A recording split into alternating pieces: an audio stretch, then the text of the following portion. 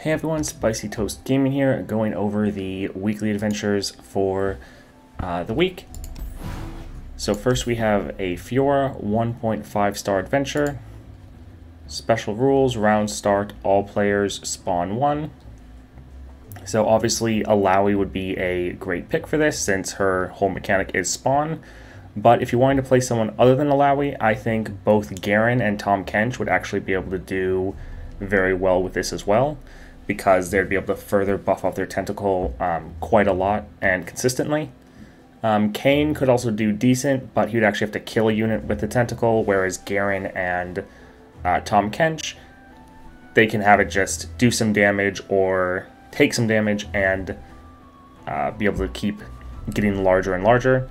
So those are some um, other decks other than the obvious Illaoi that could be really good with uh, this special rule. All right, taking a look at Poppy. So we have your Shurima cards cost one less to play, um, each round the first one. And then Musical Duet, when a foe attacks, they summon a exact ephemeral copy of their weakest unit with reverse stats. So uh, if you wanted to take use of the Dune Striders, then it's Taliyah or Kai'Sa, both uh, strong decks, especially once you get them up a little bit. So they could both take use of that. For the last adventure, it's Tahm Kench. It's just a three star. So we've each round the first player, the player's first Noxus card costs one less to play. So that is Annie and Darius. Um, Undying Rage. This is the effect from Tryndamere. Each round, the first time one of the units would die, grant them tough, overwhelm, and fearsome.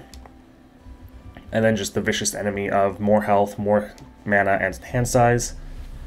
So I would say that um, Annie would probably be the best bet to take use of Unflinching Strength. Now, if you do have Darius um, up to three stars and you have that Overwhelm, you can potentially just go through the enemy units, even if they um, don't die, you're still able to do a lot of that damage to the Nexus. Um, I would personally probably go with Annie. She's able to do a lot of damage directly to the Nexus um, through spells and abilities, and then she has a lot of controls with the stuns that she has so that she can just kind of stun lock the entire enemy every round while she just burns the Nexus down. So I think Annie would do good with that.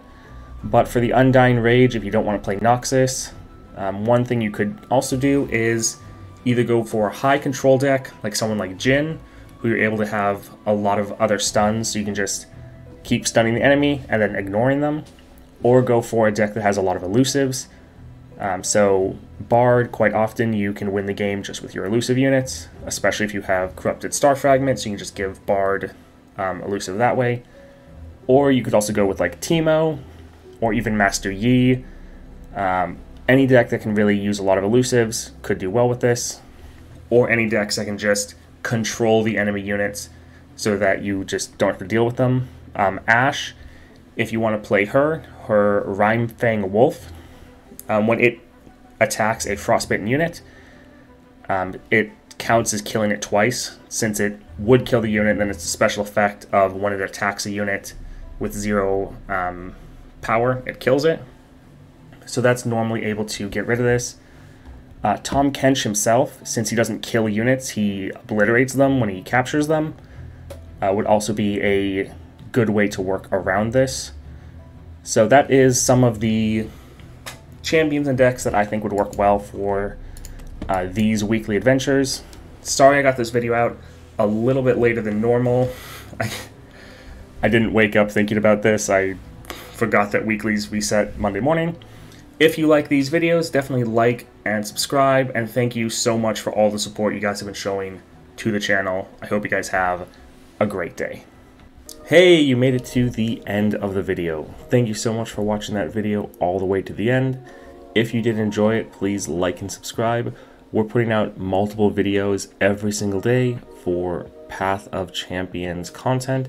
So if that interests you, subscribe, hit that notification bell, and welcome to the channel. Have a great day.